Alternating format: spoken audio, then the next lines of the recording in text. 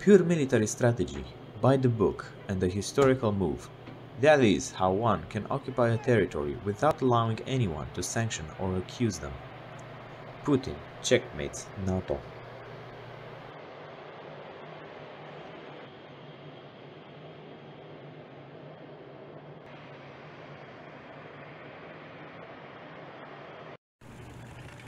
Military strategy Putin versus NATO checkmate.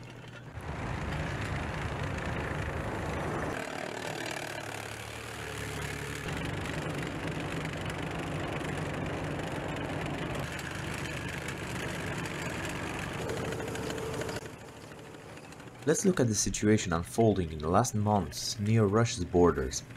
Military strategy of the highest quality on Russia's behalf.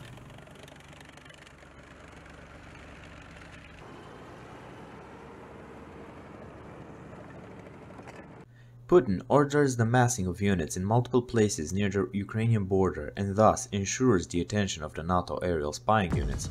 How? Amass troops in a certain area. Why? Divert attention from your true goals. Which goals? Well, let's see.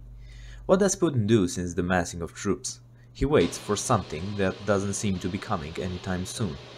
The international community gets heated the second the military satellites images become public which show the Russian troops that are on standby.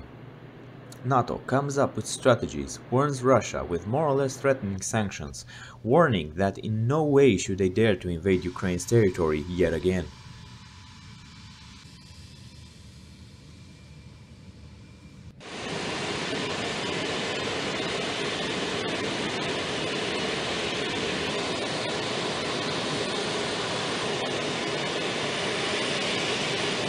Time keeps passing, but Putin, in complete secret, devises another plan entirely.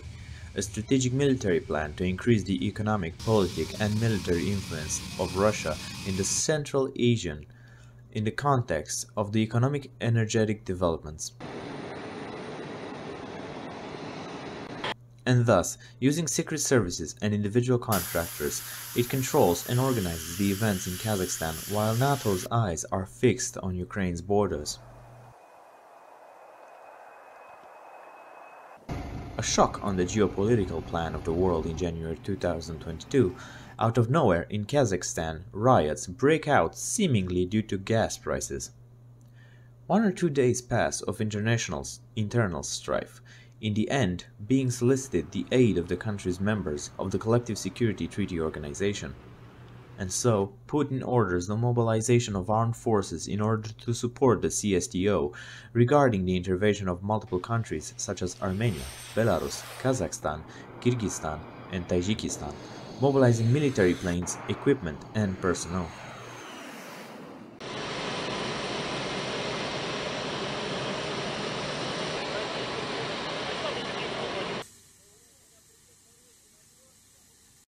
In less than two days, Russian military personnel lands in Kazakhstan in all strategic locations of the country, ensuring order.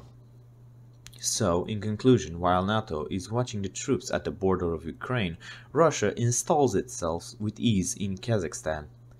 Without being accused of invading another country or disregarding international treaties, thus obtaining simply and efficiently the complete control of the natural resources, but also the consolidating of its control over the Baikonur Cosmodrome, the oldest and biggest one in the world, situated in Kazakhstan at 200 kilometers from the Aral Sea next to the city of Tyuratam.